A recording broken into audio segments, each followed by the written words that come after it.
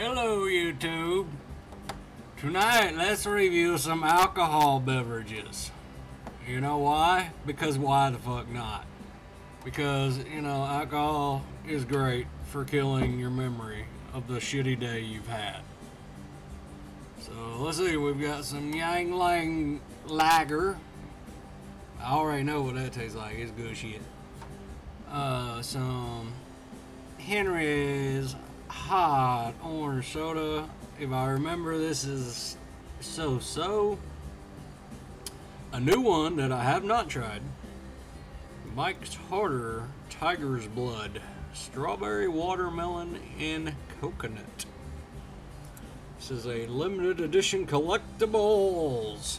Series 7.0 Edition 2.0. Ooh, ain't that just a pretty can? Makes you want to buy it and get drunk, don't it? And let's see, right here we got Mike's Harder Strawberry Lemonade. Harder Strawberry Lemonade. And of course, a regular old Angry Orchard Hard Cider. Yummy. First of all, I want to try the Tiger's Blood. Because, you know, Tiger Blood, you know, Charlie Sheen, Tiger Blood. Yeah, you know, that's good shit, man. We can get some Charlie Sheen shit going on here. Two pounds of hookers and cocaine. Mm. Wow, crazy night, kids.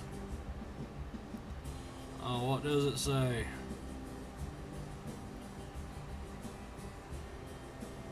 More artwork could be the next scan.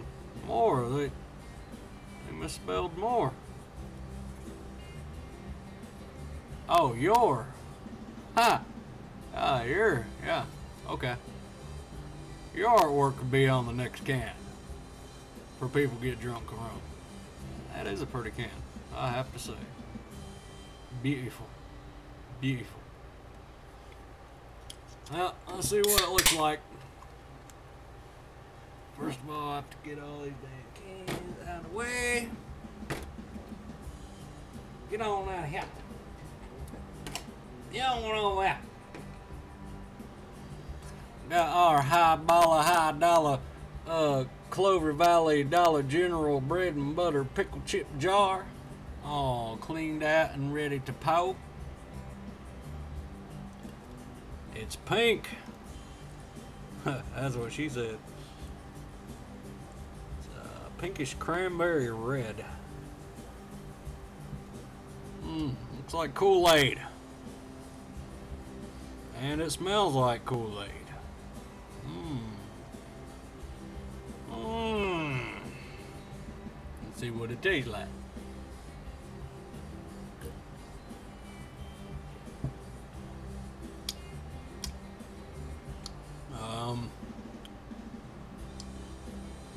Definitely watermelon.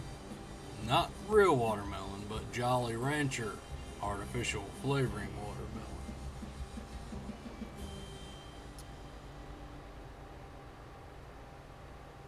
watermelon. A little hint of coconut. Just a little hint of coconut.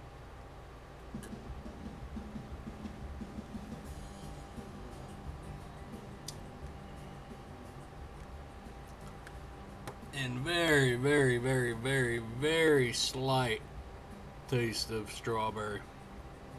You can barely taste it. And it's got it's got that sour aftertaste that most artificial flavors have.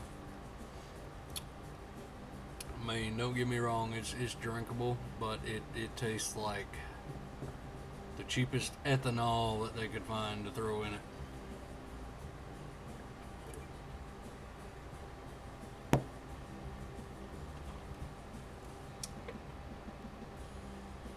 It definitely isn't the worst I've had. No, you want to talk about bad? Talk about Happy Juice. Never buy Happy Juice. Happy Juice is terrible. I I don't think I've ever tasted anything so bad as Happy Juice. Besides, um, Thunderbird wine.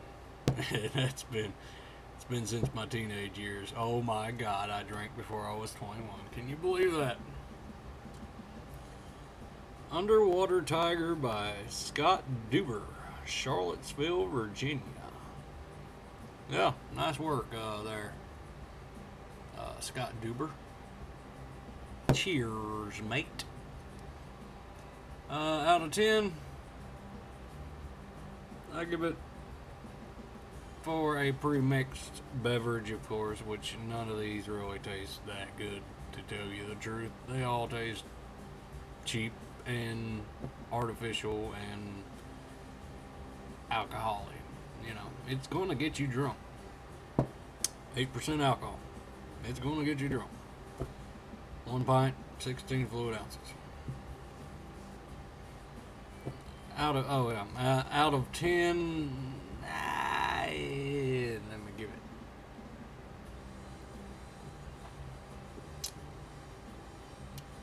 10, I give it a 7 to an 8. It's not that good, and it's not that bad. But it does taste better than most. So, yeah, that one's worth picking up. Plus, it's got a cool can. I mean, you're going to throw it away anyways, but still, you know, gives you something to look at while you're getting drunk. Thanks, YouTube. Have a drunk, happy time.